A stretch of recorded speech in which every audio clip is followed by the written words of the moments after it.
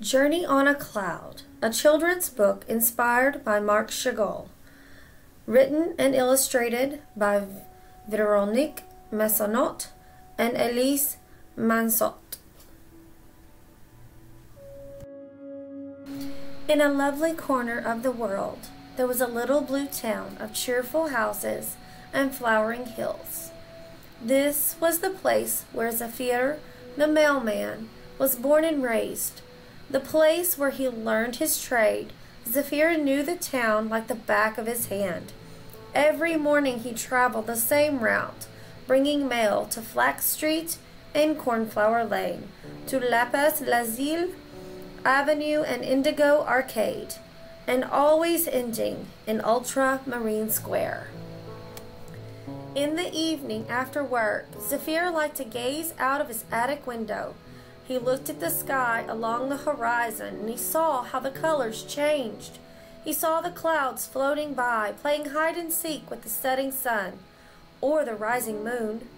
The longer Zephyr stared at the clouds, the more he saw them change their shapes, from a giant hen to a cello, from a bearded billy goat to the Eiffel Tower. Zephyr wanted to see even more of the sky's wonders, but alas, his house was not tall enough. So he closed his eyes and let his imagination take him flying. The people in the blue town were a practical lot. They preferred to keep their feet on the ground and their minds on their work. Daydreaming for them was out of the question. So even though they liked their young mailman, the townsfolk thought it a bit odd that his head was always in the clouds. Some worried about Zephyr's thoughts of travel. Who would replace Zephyr if he left our village? But others laughed. He's never going to leave. He doesn't have the courage. He's a dreamer. Everyone else is married. He's the only one who's not. The day Zephyr goes traveling will be the day my goats learn to read.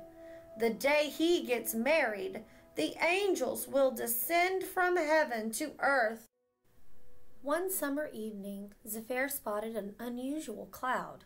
It seemed to dart restlessly from house to house, like a soft white flame flickering over the rooftops of the town. As the cloud came toward Zephyr's attic window, the mailman's heart beat faster and faster. He waved to the cloud as it approached him, anxious to learn its secrets. Hello, Zephyr shouted in greeting. Hello, answered the cloud somewhat breathlessly. What can I do for you?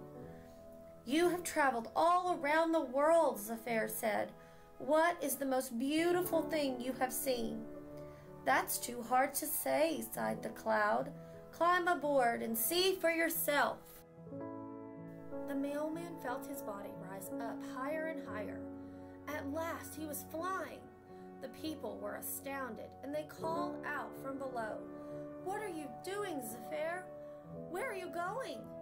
I'm traveling to distant lands, he answered. Are you crazy? They replied. You could get killed. There are so many strange people and so many languages you can't speak. Come back here at once. But the cloud had already taken Zephyr away from his blue home. The little mailman was now in full flight and he couldn't believe his eyes. What he saw was even more beautiful than anything in his dreams. Zephyr felt free and happy. His heart swelled with joy like a sail on the wind. Soon he saw below him a village of bright and glowing yellows, dried earth, smooth sand, dusty grass, and prickly bushes. What a strange sight for eyes that were used to seeing blue. The people of the village looked up in wonder, amazed at this visitor approaching from the sky. They rushed out of their houses and called out, Imoklu, Imoklu. But the mailman did not understand them, and he didn't know how to answer. All he could give them was his own friendly smile.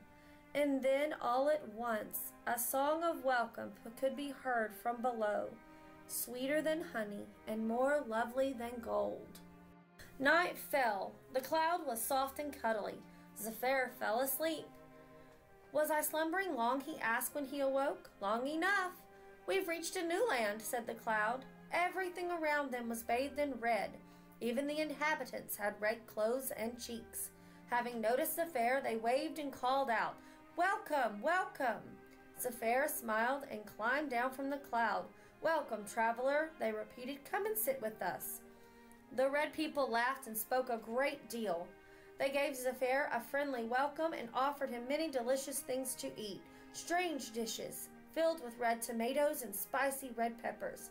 Zephyr's mouth felt stuffed with fire, and his cheeks glowed as red as the lanterns in the trees.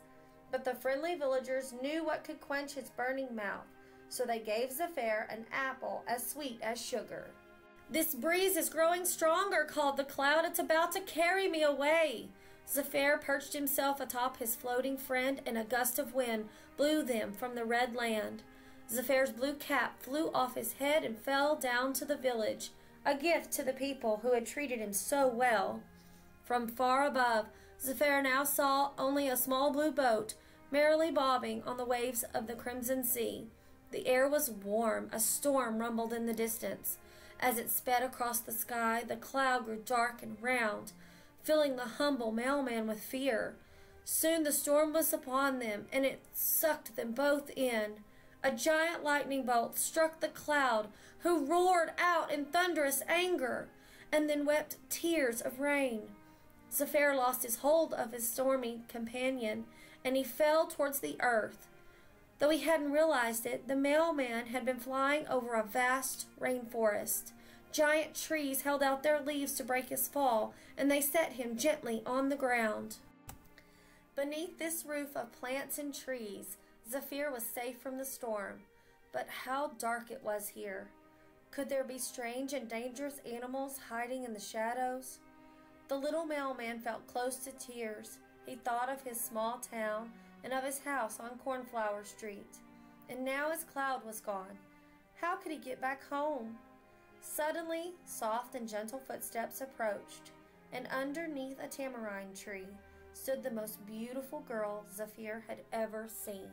As their eyes met, something special began to happen.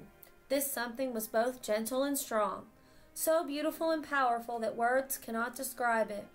The two strangers looked each other in the eye, and the girl slowly reached her hand towards Zephyr, who gently took it in his. And their hearts floated away together. Soon they were both high up in the air, two lovers at the beginning of a new journey. Would their travels last a whole lifetime? Both hoped that they would. When Zephyr returned home with the beautiful girl, a miracle had changed his small town forever. The goats had learned to read, and it seemed as if the angels were planning a celebration. This book was inspired by a painting by Marc Chagall called Bride and Groom with Eiffel Tower. It is an oil on canvas painted between 1938 and 1939. It is displayed as a, at the Centre Georges Pompidou in Paris, France. Who was Marc Chagall? A famous painter who spent most of his life in France. Chagall was born in 1887 to a Jewish community located in Russia. This community is now located in Belarus and is surrounded by many blue lakes. Was he a dreamer? Too much of one. At least that was the belief of Chagall's parents, who worked hard to support their nine children. But young Marc had a great dream. He wanted to become a painter. Did he leave home? In 1910, after taking art lessons in his hometown, Chagall continued his studies in Paris. There he got to know many other important artists. Did he travel much? Very much. Chagall traveled through many parts of France, especially the warm southern regions. In 1941, during the Second World War, he had to flee Europe to the United States. After the war, Chagall's work led him to countries around the world, including Germany, the United Kingdom, and Israel. Was he in love? Completely. He painted his wife Bella in almost every picture. Why do the figures in his pictures fly? It is said that love gives you wings, and all of Chagall's characters Lovers, musicians, clowns, animals seem delighted to exist in their creator's poetic art. The spirit of this art had its roots in the Jewish Russian culture of Marc's hometown. Were his pictures popular right from the start? Yes, perhaps because they not only told his own story, but also captured the feelings and desires of other people. Chagall's works, paintings, windows, ceramics, and sculptures are exhibited in many countries. In Nice, France, there's a Chagall museum. The artist's stained glass windows can be seen in churches in France, England, and Germany, in a synagogue in Israel, and in museums in the United States.